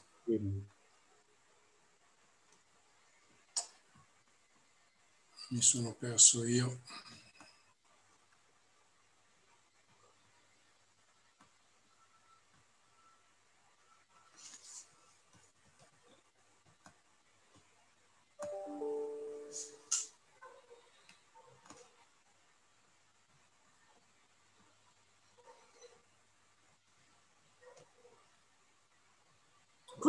Si va in giro sui fiumi, in questa, intorno a Milano in questo periodo ci sono tutti i piccoli anatroccoli, i piccoli germani legali, le, le piccole folaghe, è uno spettacolo, i cignetti. Eh sì, eh, diciamo che per noi poi sono comunque una grande fonte di, di lavoro perché in effetti il problema è che soprattutto le anatre, le persone non lo sanno, ma hanno un'abitudine a nidificare in tutti i posti del mondo. E tra l'altro anche con eh, proprio scelta di posti completamente sbagliati, per cui loro, siccome sono abituate a poter nidificare nei cavi degli alberi, eccetera, e quindi hanno, hanno, hanno questa, questa, abitudine di nidificare, ad esempio, sulle terrazze, sulle fioriere, al settimo piano, eh, in mezzo alle aiuole spartitraffico delle autostrade, e quindi ovviamente tutto va bene fino a che c'è man mano che cova, e tutto diventa un problema quando poi ci sono i piccoli che devono spostarsi, perché ovviamente vanno messi in sicurezza e questo crea una serie di, di, di problematiche non di poco conto. Si vede? Sì, sì. Ok. Allora, questa qui spostiamo. Ok, lo sciame d'api in effetti è un è una, è una questione che può succedere abbastanza frequentemente perché in, in primavera in genere le, le, api si dividono e quindi nascono, eh, lascia la regina nuova che si porta via una parte dell'alveare e quindi eh, si fa seguire poi da, da questi sciami che devono andare a cercare o un nuovo alveare o di costruire un alveare. E questo le porta ad aggregarsi alcune volte in posti stranissimi, tipo in fenditure eh, fra i palazzi, eh, tipo sui lampioni, sui segnali stradali e questo crea appunto una serie di, di, di problemi. Tenete presente che normalmente, cioè che anzi, che sciamano eh, solo le api e che nella realtà le api, anche se ormai ne siamo abituati a, a, vedere le api e a pensare alle api eh, col collegamento ape-arnia e quindi ape eh, apicultore. Nella realtà le api in natura hanno dei loro eh, favi e quindi costruiscono degli alveari se, se non vengono messi all'interno delle, delle, delle arnie. E quindi per loro sciamare è proprio una cosa assolutamente naturale. In questo caso sicuramente bisogna stare lontani perché ovviamente nell'insieme il rischio delle punture aumenta.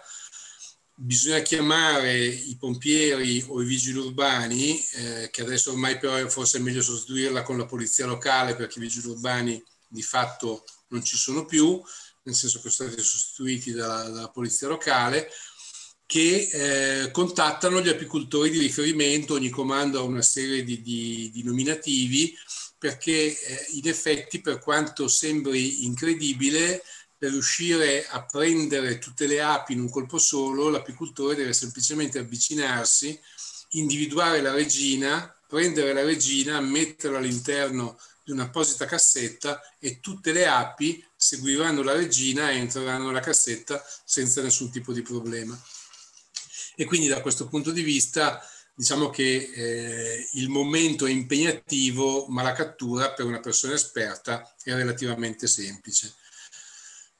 Cosa non fare? Allora, urlare o fare movimenti bruschi vicino al nido, diciamo che mh, api e vespe non hanno nidi, ma hanno comunque alveari, quindi toglierei nido con, con, con alveare diciamo che più che urlare sono sicuramente i movimenti bruschi che possono creare problema o un eccesso di vicinanza e anche l'avere addosso colori sgargianti può creare qualche problema, non perché gli animali si innervosiscano, ma perché sono attirati da alcuni colori e quindi possono più facilmente avvicinarsi, anche se nel caso di sciamatura dello sciame d'api il loro interesse primario non è tanto quello di andare sui fiori ovviamente, ma è quello di trovare un posto dove costruire la, la nuova casa. Quindi questa è un po' la...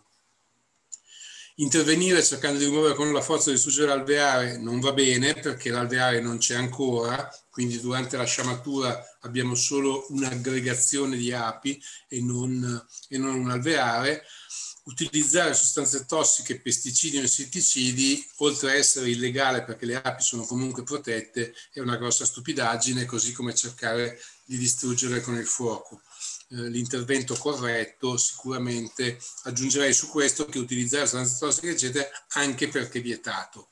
E quindi, oltretutto, eh, si rischia anche di incorrere in una, in una, sanzione, oltre al fatto che si fa comunque un danno perché eh, i, i, le api e tutti gli insetti impollinatori sono in numero sempre decrescente e abbiamo un'importanza di tutelarle eh, sempre con grande attenzione, per cui dobbiamo aiutarle e non certo metterle, metterle in difficoltà. Tant'è vero che molte amministrazioni, compresa quella di Milano, sta mettendo una serie di alveari urbani eh, sui tetti all'interno delle zone verdi, in zone eh, cintate dove le api possano comunque avere delle arnie e eh, svolgere il loro lavoro. Per cui è un periodo in cui c'è veramente molta, molta attenzione nei confronti delle, delle api.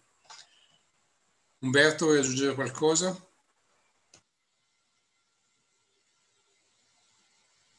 No, su questo non, non aggiungerei nulla. Il gruppo che ha fatto questo lavoro, vediamo, facciamo un riepilogo delle cose da correggere. Chi ha fatto questo lavoro?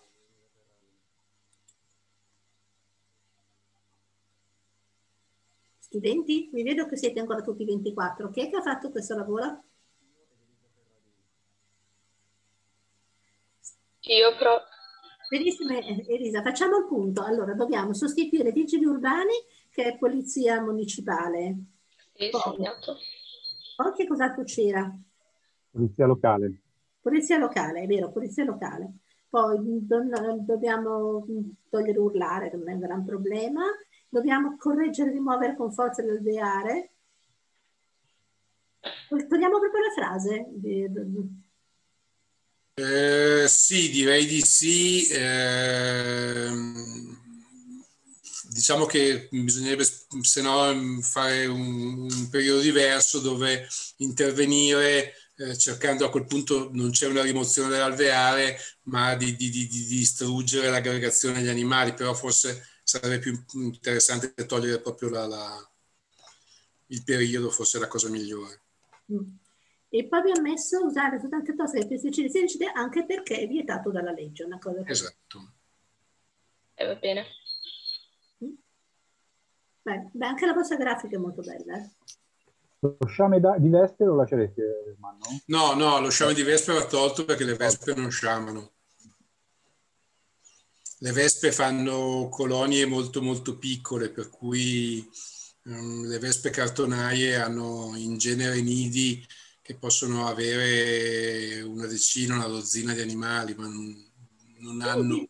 Ho visto recentemente una vespa singola che si stava facendo il suo alveare. Sì, le cartonaie fanno queste, queste, un po' questi nidi che sembrano dei girasoli rovesciati, tutti con i buchini, con le cellette, e possono essere anche singole, assolutamente. Per cui non sempre vivono, non, sono api, non sono eh, animali sociali, per cui diciamo che l'aggregazione è più dovuta magari alla presenza contemporanea di più animali interessati a fare un nido in un certo posto che non a fare una, un piccolo alveare in un certo posto che non ok non quindi questa frase diventa riconosce se si tratta di api o vespe togliendo la parola sciame. Esatto sì diciamo che sono anche eh, potrebbe essere forse carino se avete voglia integrare magari le, le, le foto sostituendo magari o, o mettendogliela sopra insertandola eh, un'ape e una vespa per far capire la differenza perché in effetti non è solo la peluria ma sono un po' anche i colori sono, sono tante cose insomma per cui in effetti eh, per le vespe più comuni sono le cartonaie, magari potrebbe essere interessante far vedere la differenza. Mm.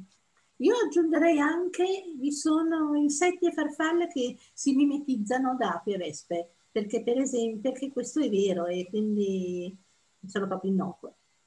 Sì, sì, assolutamente. Va bene.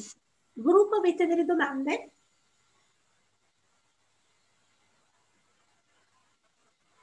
No, no, tutto chiaro.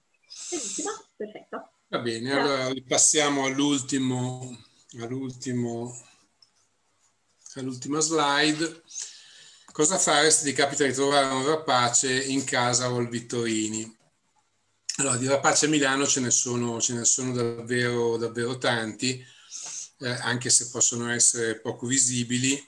Allora, sicuramente da questa slide va tolto il pappagallo, perché quello rosso e giallo è un'ara e non è un rapace, nonostante il becco che, che, può trarre in inganno, perché i pappagalli hanno un becco che assomiglia molto a quello dei rapaci, non è, non è un rapace, quindi non c'entra, non c'entra nulla.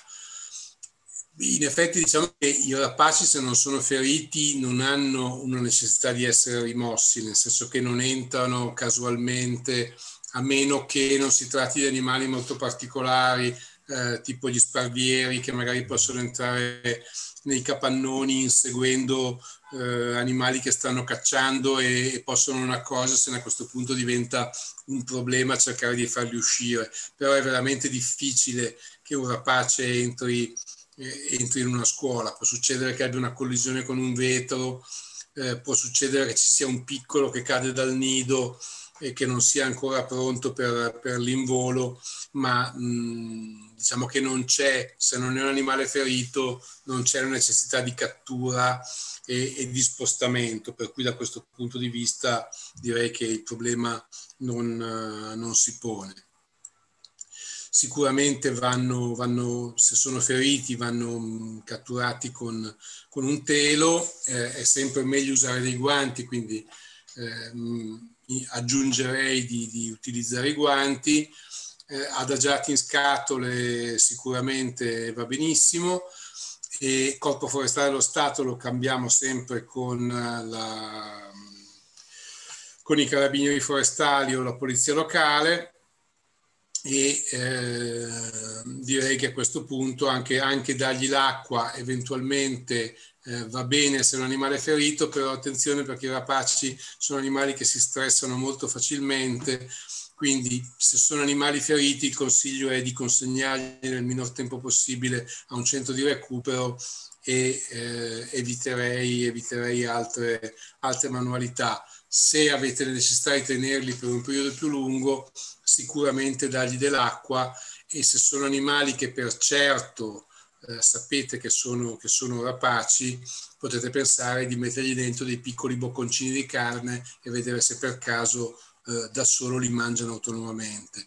Eviterei qualsiasi altro tipo di, di, di forzatura e così come prendere nota del suo habitat naturale per riportarlo in seguito Mm, no, perché non catturerete mai un animale sano, ma soltanto un animale eh, ferito che a quel punto deve essere consegnato a un CRAS e quindi questa parte non, non, ha, non ha un suo perché. Come immagine vi sto mandando un'immagine del falco peregrino, perché i falchi noi ne abbiamo a Milano, io ne ho visti uno recentemente su una, un cavo dell'alta tensione nella zona di Certosa della tangenziale. Era lì che dominava la tangenziale, guardava le macchine che passavano e sembrava anche incredibile che fosse lì. Però se cercate su internet ci sono anche quelli eh, sul grattacielo Pirelli che hanno messo la web. Allora, se dominano la tangenziale, però io credo che fosse una poiana e non ah, un falco pellegrino. Ah, pensa.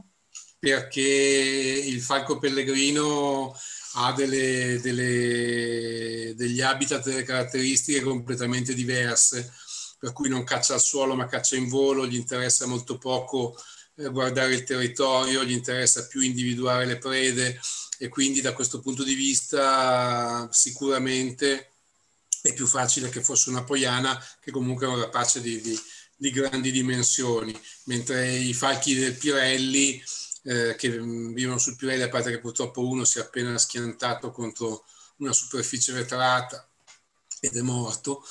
e questo purtroppo è uno dei grandi problemi provocati da, da, dai grattacieli vetrati, dalle costruzioni alte vetrate, però diciamo che la città per i falchi pellegrini è particolarmente ospitale perché è piena di piccioni, che sono il loro cibo d'elezione.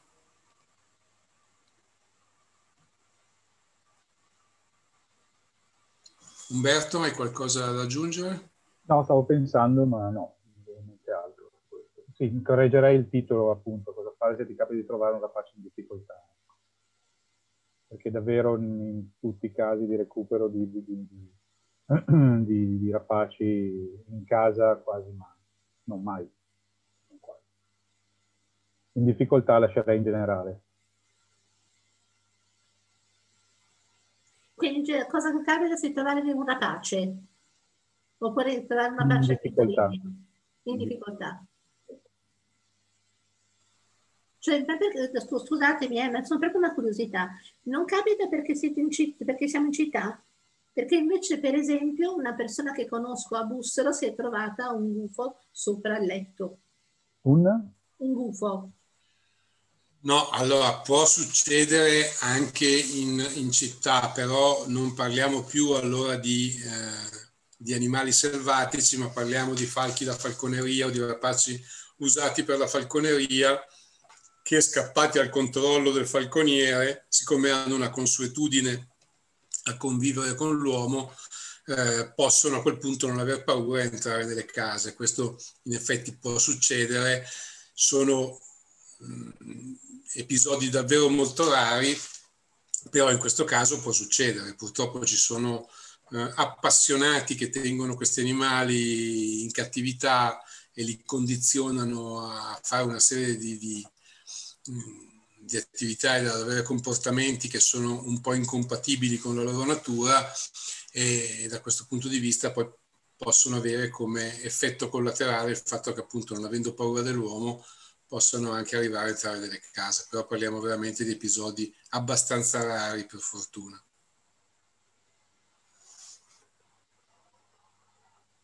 Ecco, potrebbero anche essere inanellati alcuni, da questo punto di vista, parlando di quelli da falconeria. Quindi avere un anello di riconoscimento sulle zampe. Sì, diciamo che normalmente i falchi da falconeria si riconoscono anche perché hanno alle zampe normalmente i geti, che sono queste cinghie di cuoio con i quali il falconiere li trattiene. E quindi diciamo che quelli sono più apparenti anche da lontano rispetto a un anello che magari potrebbe essere sotto le piume, anche perché poi non sempre hanno un anello, ma alcune volte hanno anche sono identificati con un microchip perché sono tutti animali protetti e quindi per essere tenuti legalmente devono avere una provenienza certificata e questo è il motivo per cui sono, sono muniti di un contrassegno di identificazione.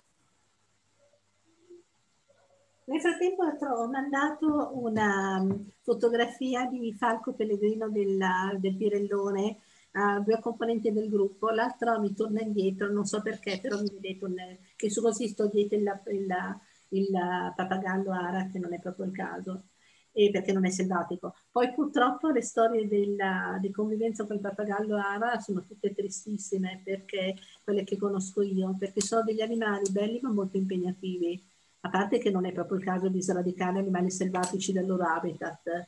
Ma poi, per esempio, avevo una, conoscevo una persona che aveva un pappagallo ara domesticissimo, loro sono, da, come, da, quello che mi ha raccontato, poi qui ho due esperti, mi possono dire se ragione o se torto, si attaccano ad un componente della famiglia come se fosse il loro marito o moglie, perché essendo animali monogamici molto uh, fedeli, e, e, qui questo pappagallo ara si era attaccato in maniera esclusiva ad un signore che aveva una piscina ed era un animale talmente domestico che lui poteva tenerlo tranquillamente in giro perché in effetti quello stava in cima alla, ai mobili a guardare le persone, le biglietterie, eccetera. E, e poi un giorno gliel'hanno rubato e ci siamo tutti disperati perché come, come, avrebbe potuto sopravvivere anche psicologicamente un animale così attaccato in modo esclusivo ad una persona. Quindi insomma io sconsiglierei proprio di prendere i pappagalli.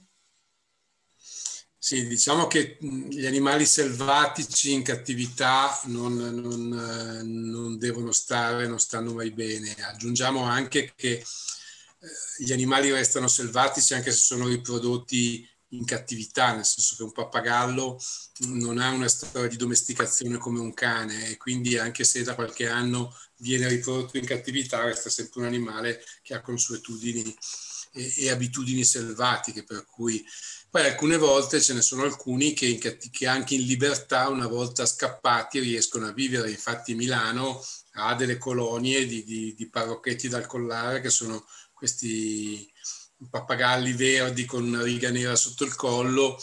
C'è stato un periodo che per anni ci sono stati una coppia di ara che vivevano in piazza Piemonte, mm, si sono riprodotti addirittura una coppia di Amazon in piazza della Repubblica, per cui alla fine eh, gli animali diciamo che eh, hanno la, la, sfortuna di adattarsi anche agli ambienti eh, talvolta sbagliati, per cui molti muoiono, ma qualcuno alla fine ce la fa sempre, per cui è, è il motivo per cui poi adesso i pappagalli dal collare che sono scappati eh, stanno riempiendo piano piano eh, le nostre città da Milano a Palermo, per cui mm, diventano una presenza esotica che sarebbe stata poco desiderabile, ma che ormai è, è, è con noi.